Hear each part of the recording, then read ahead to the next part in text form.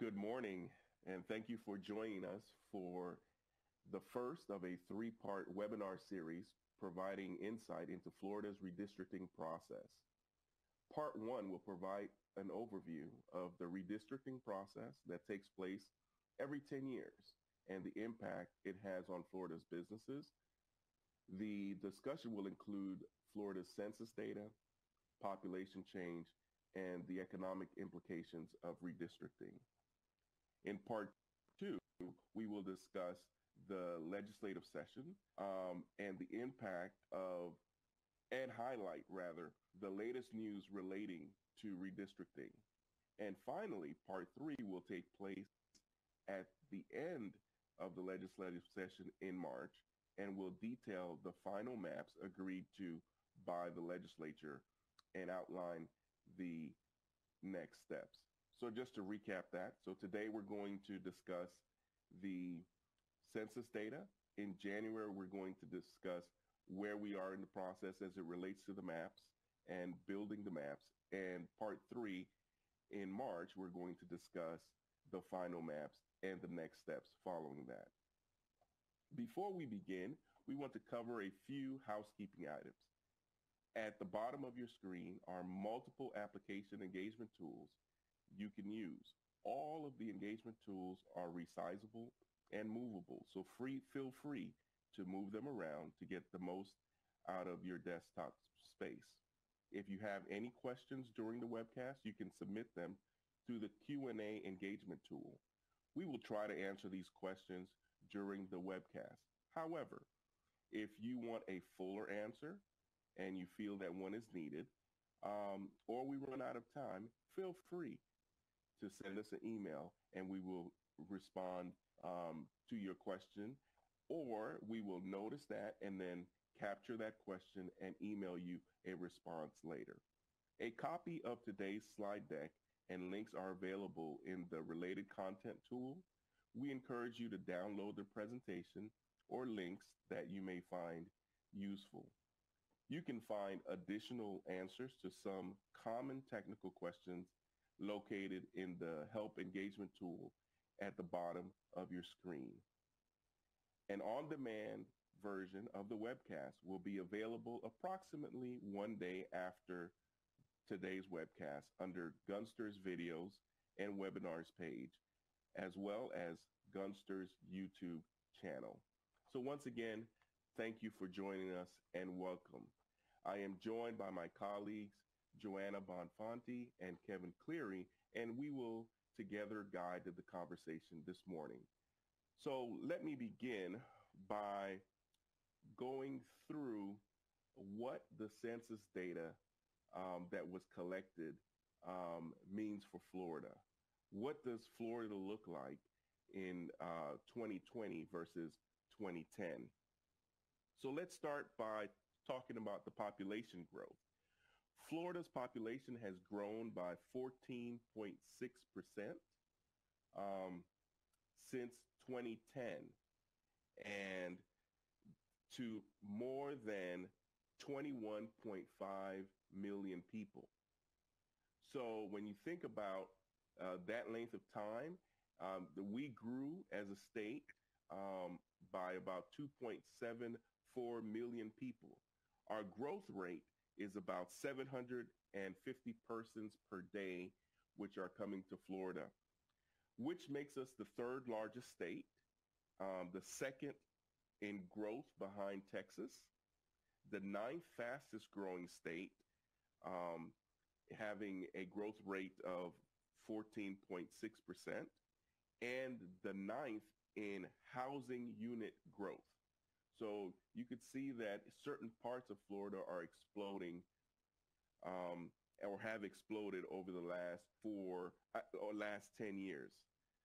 17 counties in Florida lost population uh, during the decade.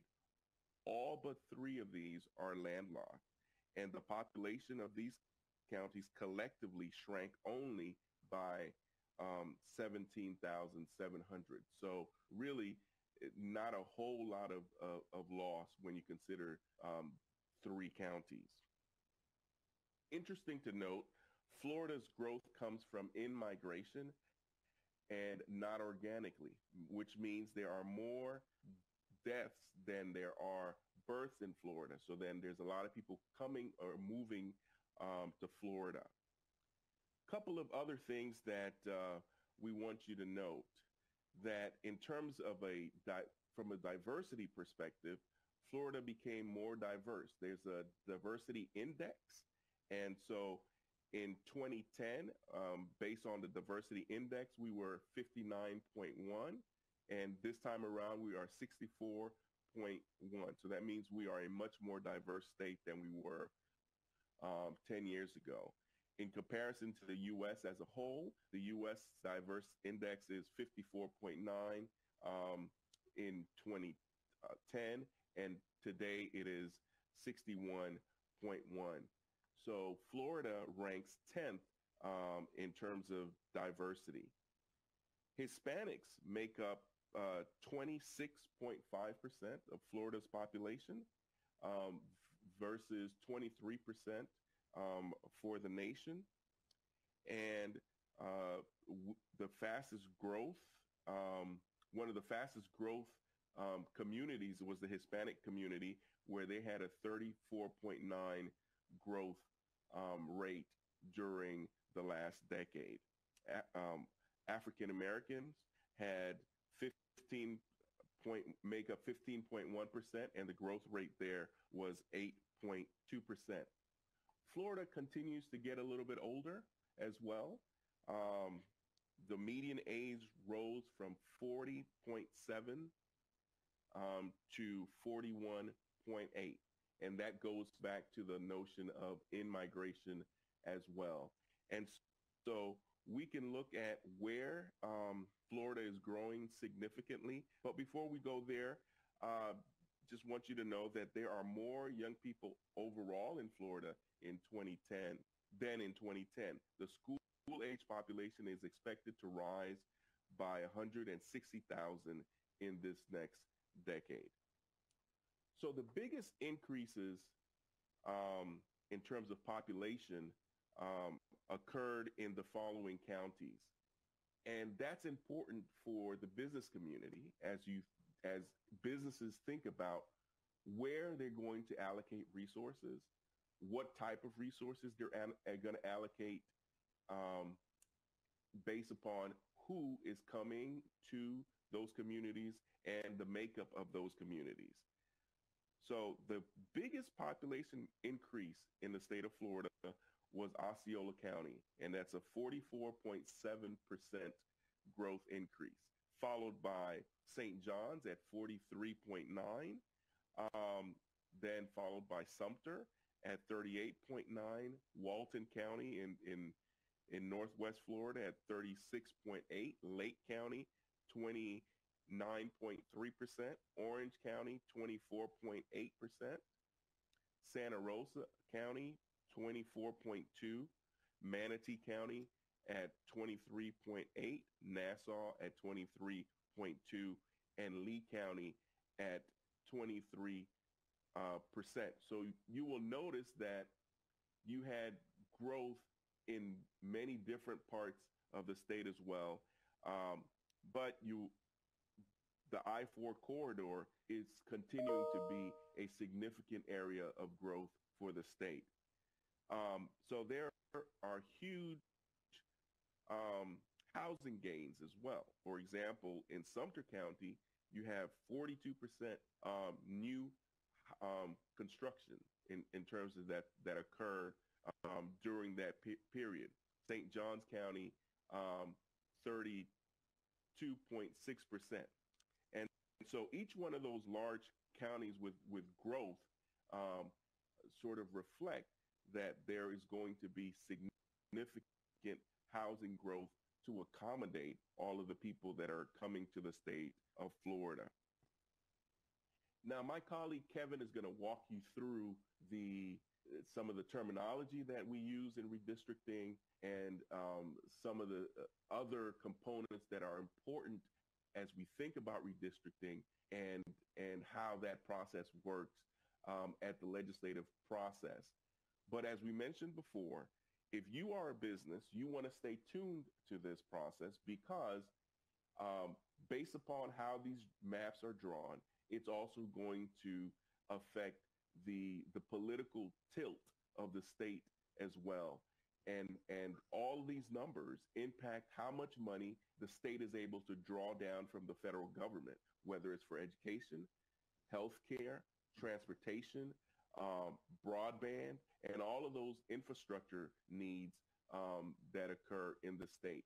So um, we will keep you keyed in to those issues. And so at this point, I will turn it over to my colleague, Kevin, to walk you through um, some some of the more particulars as it relates to redistricting.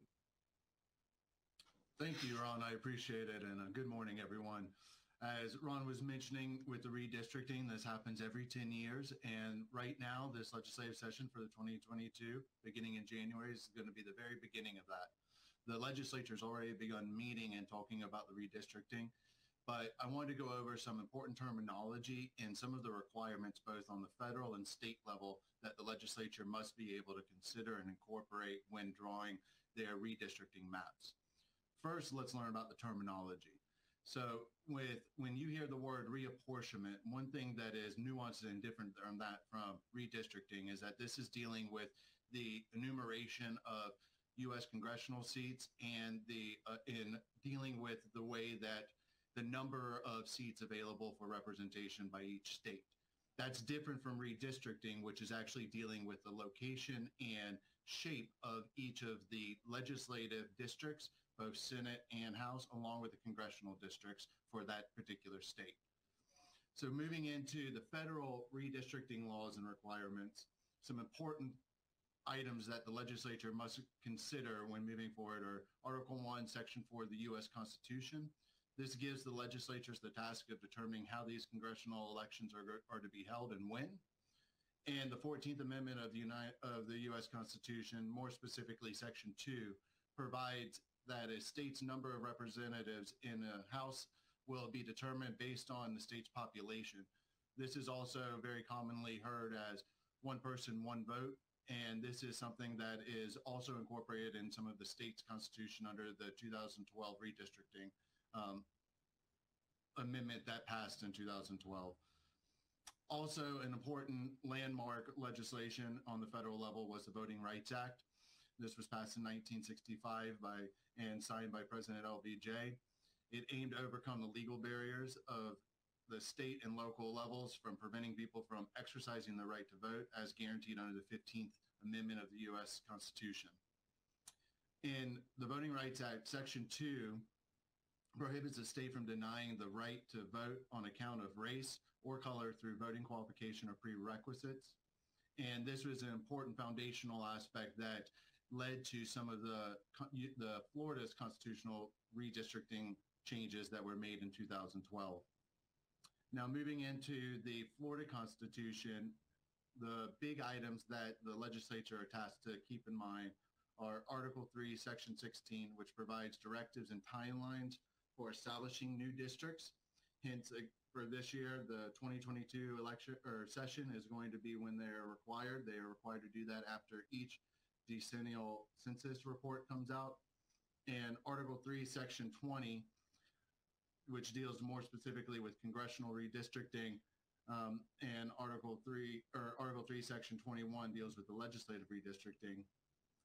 As I mentioned before, in Florida, 2012 brought in new constitutional requirements that were approved by voters to reform the redistricting process. These new sections added the both section 20 and 21 and more specifically no apportionment plan or individual district shall be drawn with the intent to favor or disfavor a political party or incumbent and the district shall be as nearly equal in population as practical Districts shall be compact and districts shall be, where feasible, utilize existing political and geographical boundaries. That deals with what the legislature commonly uh, references as the compactness and those considerations. Some of the changes in that that the legislature have been discussing and making sure that they hold the proper standards for are both tier one and tier two standards. And the important thing to note about the tier one and two tier standards is that the tier one standards take priority over the tier two standards, while each tier standards are equal amongst each other. And as I mentioned before, the tier one standards deals with no apportionment or plan or individual shall be drawn for the intent to favor or disfavor an incumbent or political party. And tier two deals with more of the compactness and equal representation of one person, one vote. When you move into some of the Florida statutes that the legislature are required during the legislative session to consider, Chapter 8 of Florida statute defines the technical boundaries of the congressional districts. Chapter 10 defines the boundaries of the Senate and House districts. And Chapter 11 defines, uh, provides that the legislature use the most recent census for apportionment purposes. Um, and then also the legislature is going to be required to make sure that this stays open and transparent. One of the things that's been very difficult for this, this legislative session is in 2012 when the legislature met to do the redistricting process, they had the opportunity to be able to travel the state and get public input due to the impacts of COVID-19. That has not been available, but any citizen, business, or entity is able to watch this on the Florida channel, follow it as we do here at Gunster, and also be able to provide any input to your local elected officials. Now, I'm going to turn it over um, to Joanna and kind of go over both the timeline and exactly where we're at and what's left for the legislature to consider before the end of the next legislative session. Thank you, Kevin. As Kevin mentioned, we are moving along in this timeline uh, for redistricting. And of course, you'll see at the top of the timeline that We've received the census data from uh, the U.S. government. Uh, that was, of course, delayed due to COVID. And so therefore, the state's ability to uh, analyze that data and to, um, to get it to the legislative committees that will handle the redistricting and reapportionment uh, was a little bit delayed as well. But what's important to remember is that by our Constitution, um, that we are required to have these districts uh, voted out and established uh, during the session and so that they are ready in order for the uh, candidate qualifying that comes in June. And so um, the goal for the legislature, of course, is to complete this work during the upcoming session in January. I'm going to tell you a little bit about where we are in the process right now.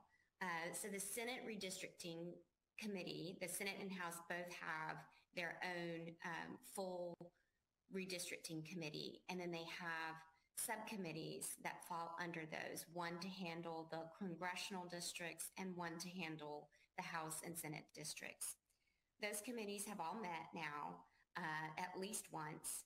The Senate subcommittees addressing the congressional seats and the um, the Senate and House seats have now met for the first time this past week during the special session and committee week. Um, you know, the Senate and House sometimes approach their work a little bit differently, and this is an example of that, where the Senate has focused a majority of the background information in the main reapportionment committee, and then now the actual overview of, of the map drawing um, and analysis of the initial Senate maps. That's all taken place in the subcommittee first after those maps were released. In the House, they've, they've handled that process a little bit differently. They've had their subcommittees meet and the full committee meet as well.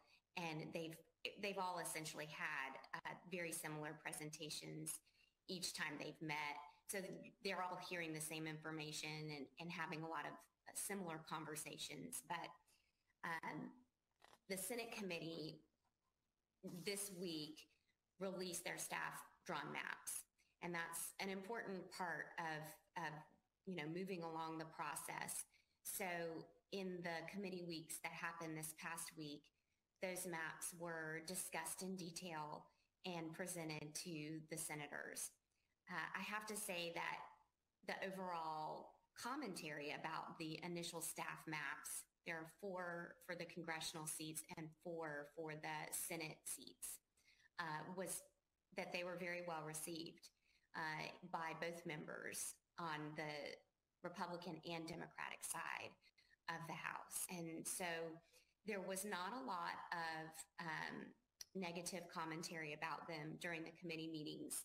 Um, several members ha- at this point have been drawn into the same districts in a few of those maps as can happen. Um, staff was directed not to take into account any addresses of uh, sitting legislators. And so, um, you know, that, that can happen when they are looking at redrawing district lines. And um, we did hear some testimony from members of the public, uh, in particular, the the person who is the president of the League of Women Voters, they're a group that's quite often very engaged in the redistricting process, um, commented and and asked that they uh, do some some different analysis, a functional analysis is what it's called, of each of the districts in each of the maps. Uh, the staff's response to that request was that you know they're not required to and they don't know that it's necessary based on the population changes in the state.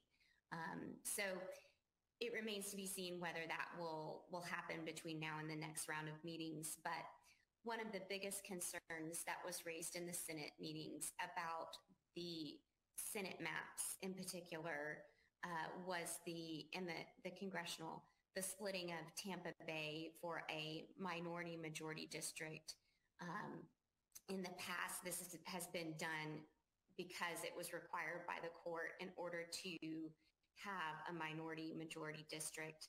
And uh, several members raised the point that with the population growth, they don't know that you need to um, to take part of Tampa and go across the bay into St. Pete in order to achieve that same uh, minority majority district. So there were a few members that asked that that be looked into a little bit further by staff. So I expect that we'll be hearing more about that in their next meeting when they return. Um, so uh, we've mentioned that the public can participate and it is a little bit more challenging this round uh, versus the last redistricting, as Kevin mentioned, because the legislature determined that with the COVID challenges, that they are not going to travel the state uh, as they have in the past to seek public input. I will tell you that some of your local uh, legislators are intending to have meetings at home in their districts. So be on the lookout for those notices if you're interested in participating or attending one. Uh, I believe some members are also planning to hold virtual events with their constituents. As a member of the public, you also have the ability uh, to submit your own map. Um, there is a redistricting website. It's www.florida, all spelled out, redistricting.com.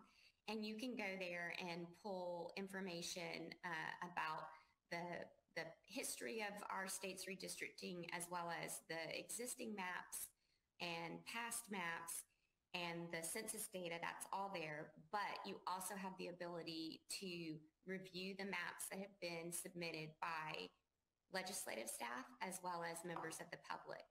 And you can submit your own map and you can go in and, you know, do the exact work that the staff is doing if this is something that's interesting to you, I definitely recommend you check out the website.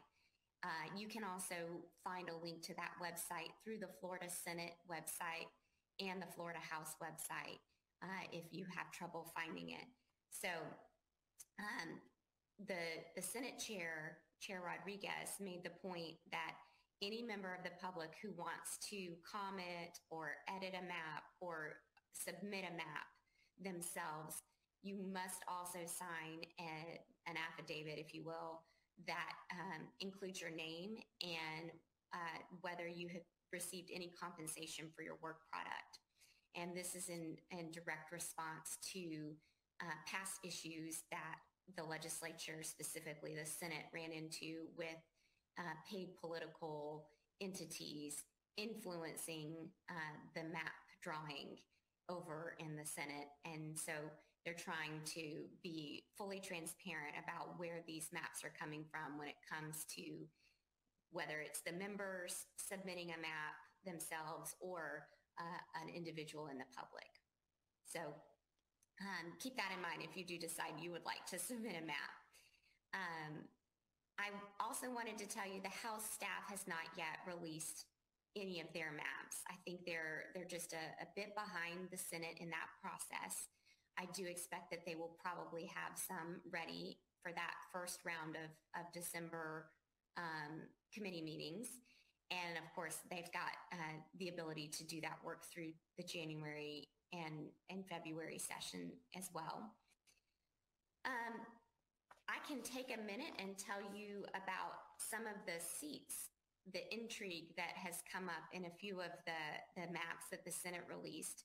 In particular, um, you know, we're, we're potentially going to have a new congressional district in the center of Florida, it, it's anticipated and based on the maps that have been released that that's going to be around that I-4 corridor, probably a little closer to the Orlando side of I-4. Um, so it, it's going to be interesting to see how that all plays out. Um, the 14th congressional district that's currently held by a Democrat, Congresswoman Kathy Castor, it includes all of Tampa in its current form. It's a very safe Democratic seat. And uh, Joe Biden very handily won that district when he ran for president.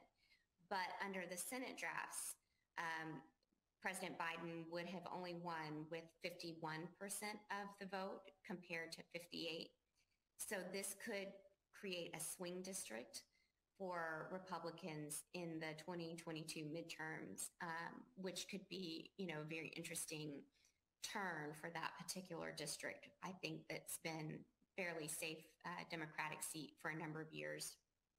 In terms of the state legislative seats uh, and, and a little bit of intrigue there, uh, down in the Miami area, Republican Ileana Garcia's Senate district, District 37, it looks like under a few of the maps would be easier for Democrats to retake. Um, and then in Republican Jason Brodeur's Senate district, which is more in, in the center of the state, Seminole County based, at Senate District 9, that would become a little bit harder for Republicans to maintain as well. Um, that population demographic there has definitely gotten a little bit more blue over the years. And so this seat would, would, and the way it's drawn, the staff have dipped further into Orange County, which is bluer than Seminole in many places. And it does give Democrats the opportunity to really secure that seat. And, uh, and it's been considered a swing seat for a number of years now, although Republicans have continued to maintain it. There's some speculation that under the Senate maps, the Tallahassee-based seat for Democrats, uh, Senator Loranne Ausley could be in play. It uh, moves a little further to the right in the drawing of the map. And so it would potentially pull in some additional Republican voters and, and could make that a swing seat. Additionally, uh, we've got a few incumbents that have been drawn into the same seat, as I mentioned in the Ocala area in District 8. We've got Senator Dennis Baxley and Senator Keith Perry. They're both Republicans who um, have been drawn into the same district.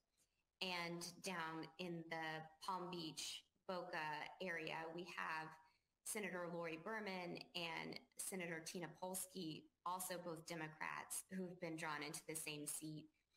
Uh, Senator Berman was quoted this week as, as saying, you know, it's quite early and I'm not concerned and certainly I'll run in whatever seat um, that I'm drawn into. And I think that that's how a lot of the members feel right now is that the process is very early on and that there's still some time to go.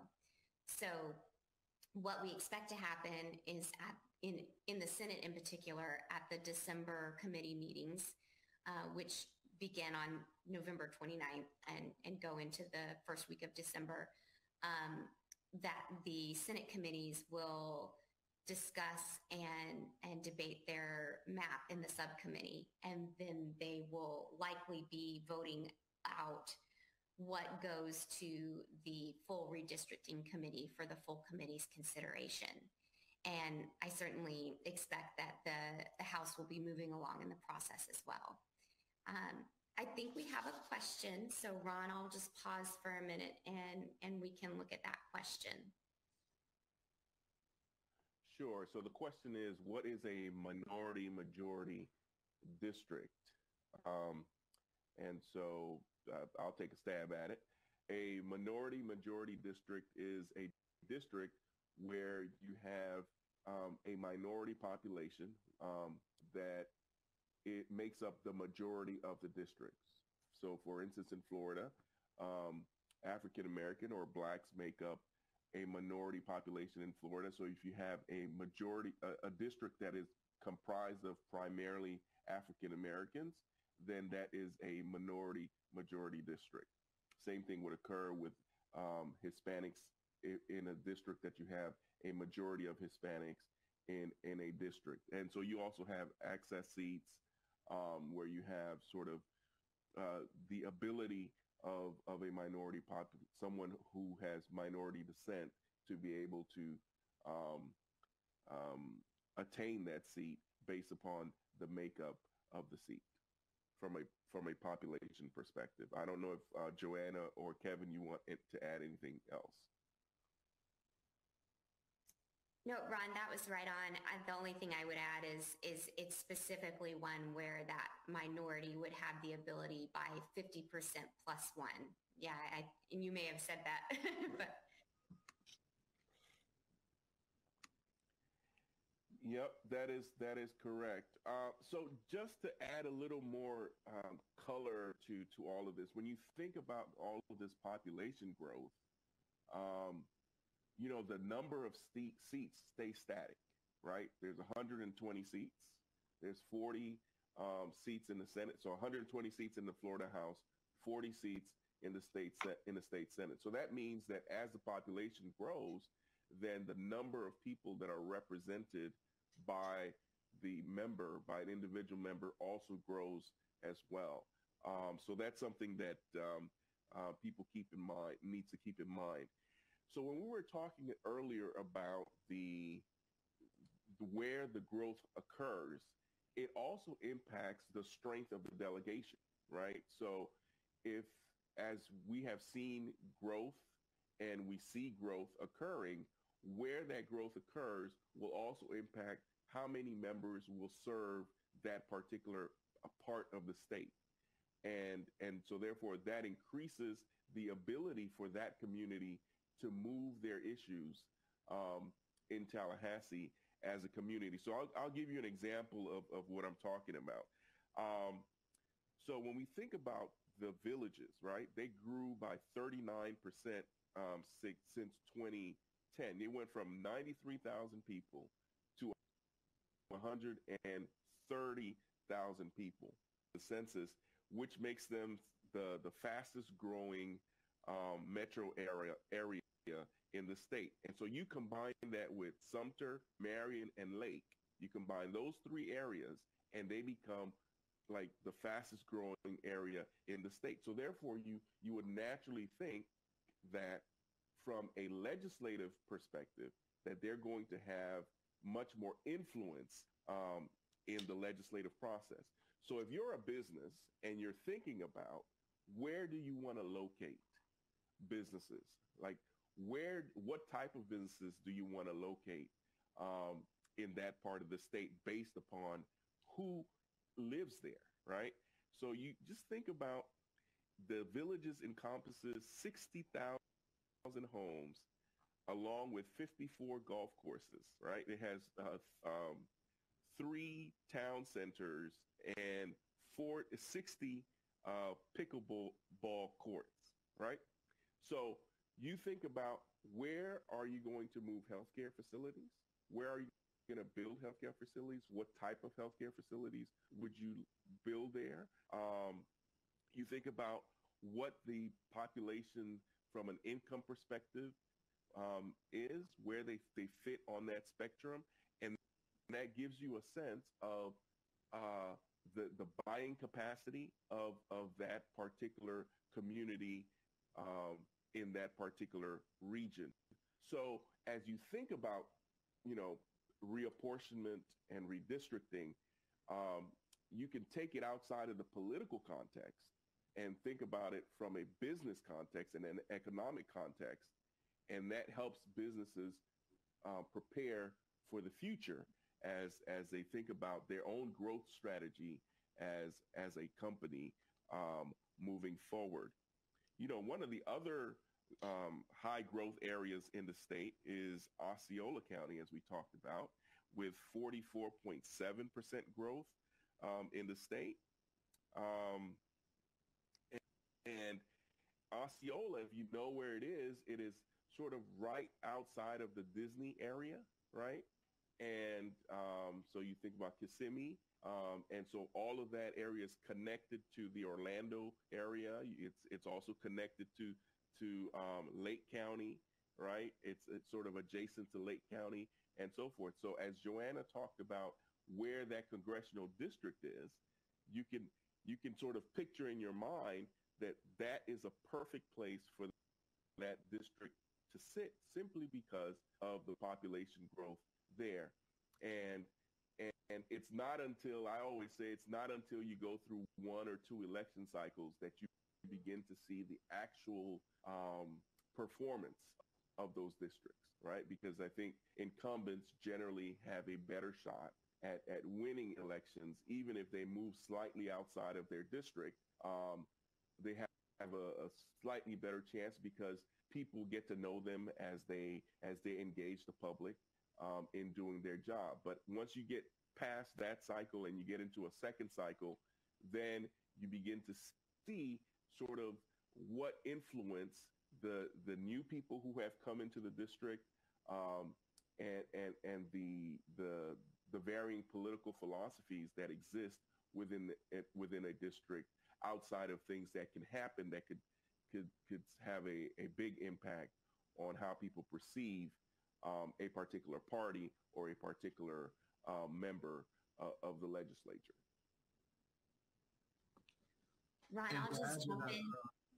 So um, one of the big things I would like to highlight just to kind of galvanize what Ron was sharing was if you look at this population growth map here, this is also a heat map on the growth that Ron was talking about here in Florida for that type of investment for businesses. So not only looking at it under the paradigm of a political mind or, or, frame, but also looking at it as far as population growth and a business investment point of view. And as you can see here, where it is more blue is where the growth is, is highest. And the, ye- the yellow is where the least amount of growth is in the state. And so with that being said, that is something that is very important to continue to follow. And the information that's been provided in the data that the legislature are reviewing right now does have a business implication as much as it does on a political for how they are going to draw their lines, but more importantly on what the trends are here in Florida and what areas of Florida are seeing the most significant amount of economic growth along with that population growth. Hey, Ron, yeah, I just wanted to, say something?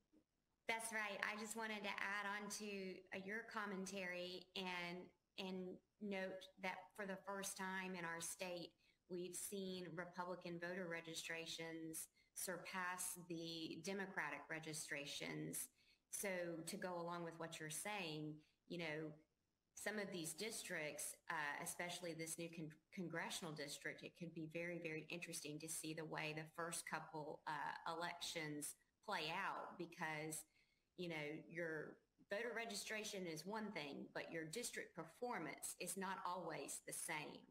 And we've seen that before um, in especially a lot of these swing swing seats. So uh, Republicans are quite pleased with this uh, advantage they they perceive that they now have. But um, you know, along with that, I will note that you've seen an, in, an increase in independent registrations as well. So you've got a lot of voters out there that aren't going to either one of the major parties. They're sticking with the independent uh, label. Yeah, and that's an interesting point that you bring up, Joanna, in that when you think about the registrations overall, it, it's almost like a third, a third across the board in terms of um, party registrations between Democrats, Republicans, and, and independents. And so that always creates a headache for those who are running for office because you you don't always know how the independents are going to to to act or react in a in a um, general election um, eh, for a particular seat. So so that's an interesting um, dynamic that, that we're going to see. And then the other truth is that the registration doesn't always um, reflect the actual will. You think about, you know, if you know, Florida has just become a Republican majority state, quote unquote, right? From a from a party registration.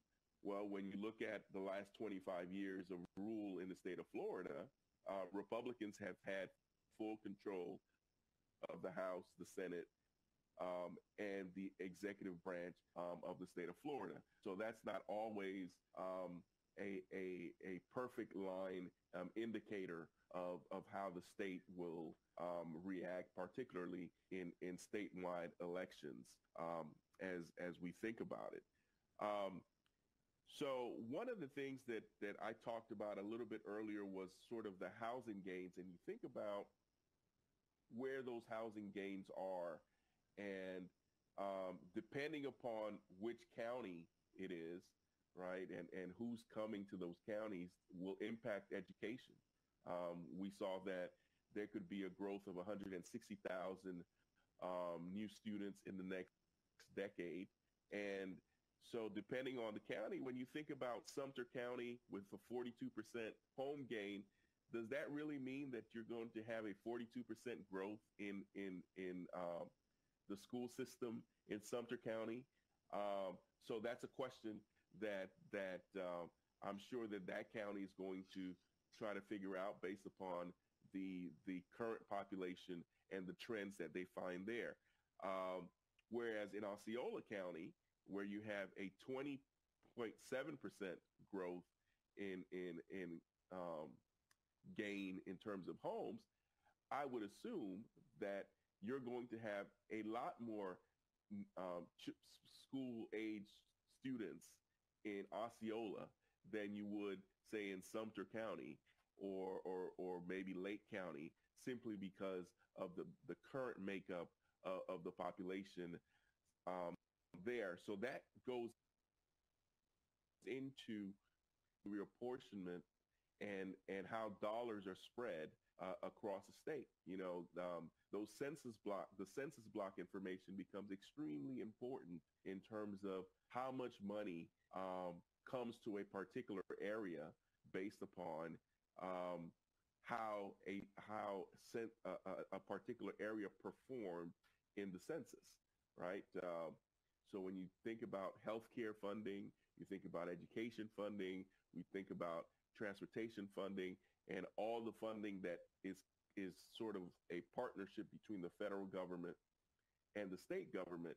That linkage really comes down to um, let's make sure that we are spending the money where the actual there is actual need. And that information be, that information from an objective perspective is based upon the census data um, that has been collected um, through this process. Let's see if we have any more questions uh, uh, from the public um, at this time for those who are who are watching the process. So um, I know that we are going to talk about the actual maps next time. Um, but based upon your experience, um, each one of you, Kevin and, and Joanna, um, how intense does this process get between members, right? As, as, as at some point it becomes a competitive process between members uh, in recognition that um, you know, certain districts might be better for for a member simply because of their positions on issues, um, uh, their their personal demographic information, um, and and their familiarity with a particular di- district, right? So, based upon your experience, can you share a little bit of of of, of that from from what you have seen? Yes, well, um, for me personally, one of the big items that I found most interesting when it comes to that heightened sense of focus and then eventual um, tension that you begin to see is actually, and you referenced it earlier, among the individual county delegations and what type of strength or dynamics may change through the course of certain counties having new representation or those lines being redrawn. A good example of that is down in Miami-Dade, where there is significant diversity among a very small land region, which the smallest changes in the redistricting process can actually have significant impacts on who all is able to represent that a constituency within a certain area or neighborhood, along with what type of voice the delegation itself would have up in the legislature on a for the next 10 years. Another item I find very interesting is on the reverse end when you deal with more of the rural areas of Florida where you see population growth similar to this one where um, Polk County has seen population growth along with the Lee County area and but the heartland doesn't have the same level of population growth. So these districts geographically change significantly, which then may incorporate new counties than what that member eh, um, may or may not have seen or been familiar with on a constituency level. So the elected officials who are going to be running again versus the candidates that are going to be running in these new seats, they have to re-educate themselves and understand what the constituency the constituency needs are and they have to do that in very short order and do it while managing another uh, regular session if they are an incumbent. So it so it to your point, Ron, it does create a lot of tension and a lot of um, a lot of incentive for them to really pay attention to this the same way that the voters are paying attention to it. I agree, and I also feel like you know, I think on the surface, members are, are usually very respectful and very cordial with one another, but certainly uh, they will try to find the, the district drawn to a, a way that will allow them to, uh, to stay in their home and not have to move. Um, that's something that certainly some of them will have to consider when looking at the current districts and the new district lines. And um, I think we have a question about the new congressional district and whether it is expected to be in the Lakeland area. I think that is being uh, bantered about and that it is a possibility that it could end up with Lakeland being a, a central part of it. Um, there's a, a, number of members that are in and around that area um, where, you know, they could be terming out soon that you may see express some interest in running for it. But one member in particular that I believe has, has already announced his intention to run um, is Representative Anthony Sabatini. And uh, I don't know, Kevin or Ron, if there are others that you, you know of, but I know that he's already, I believe, filed his paperwork. Yeah, I think that's correct. I think the paperwork has been filed. I think other members are are sort of taking a a wait and see approach to see what what it will actually look like before um, they actually get in it and um, um, to see if they would be a good fit for for that particular district. It's it's it's interesting to see how even some of the other districts that are are not new are changing, right? And so they essentially become new districts um, for for individuals who are running for them. And so so um, it, I, it's it's going to be in, an interesting dynamic um, in that.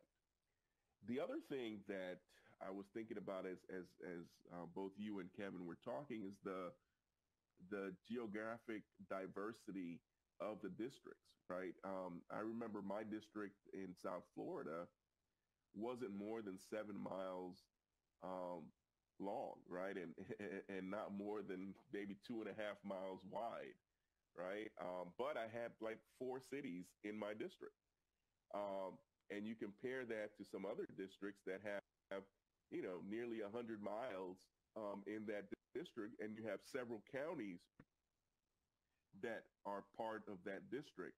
And so when you think about um, the the allocation of, of of people and then resources across the state, that impacts um, the ability for, for for legislators to actually um, perform for um, for their districts, right? And so that plays a role in that. And I think that um, in addition to members thinking about their own fate, they're also thinking about how will the district be able to to perform uh, moving forward um, based upon which um, counties they are connected with, who is their neighbor as a city, right? Do they do the cities line up in terms of what they are what they are traditionally seeking um, through the legislative processes? So so those are some things that I think that members are also thinking about um, throughout this process. Let's see if we have any other questions um, from the audience. I see, Joanna, you have covered the congressional question. Um, let's see if there are any others. All right. Um, so any other thoughts on, on, on that issue in terms of the, the allocation of resources um, as we think about them um, uh, within geographic areas and particular needs of the state. When you think about if you have environmental needs, for instance, um, allegation from a particular area strong enough to to address issues that come from that deal with certain environmental issues that are happening back home? Do they have what what I call the juice in order to to um, move things from a legislative perspective um, to see to address those things? And so, see what your thoughts are on that. to to add to that point or to comment on that, one of the things I would uh, kind of point out is a there has been on a federal level and also the governor DeSantis has been very focused on both environmental restoration here in the state along with resiliency issues that also overlay with a lot of infrastructure incentives and programs that the federal government has been focused on. I believe that some of these more rural districts uh, are going to be incorporating more coastal communities and are going to be incorporating more uh, demographics that are going to be focused on individual city infrastructure needs like wastewater treatment, uh, converting their septic to sewer, and also addressing resiliency needs on a natural resource basis and making sure that the proper protections are there. I believe that uh, there's going to be a big focus both on spending for this upcoming legislative session, along with understanding what these infrastructure needs may be in areas of the state that these members may not have had the same focus on the last 10 years. So it'll be very important for them to be communicating with and learning about issues both inside and outside of their district, especially here in the Senate.